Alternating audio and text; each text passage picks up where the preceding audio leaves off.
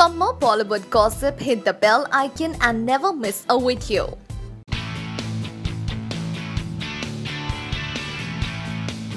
Tiger ज़िंदा है के ट्रेलर को लॉन्च हुए तीन दिन भी नहीं हुए हैं और इस ट्रेलर ने ऑलरेडी वेब वर्ल्ड में एक तूफ़ान मचा रखा है फैंस इस एक्शन पैक ट्रेलर पर गागा हो रहे हैं और ये trailer former lover Salman Khan और कटरीना कैफ के रीयूनियन को भी मार्क करता है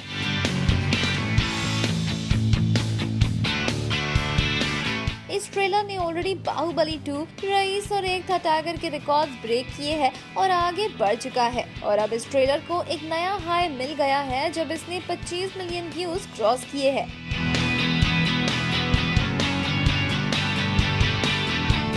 बाईस दिसंबर को रिलीज़ होने वाली फ़िल्म टाइगर ज़िंदा है, यकीनन 2017 को एक ऐप क्लोजर देगी, साथ ही कई रिकॉर्ड्स ब्रेक करेगी, है ना?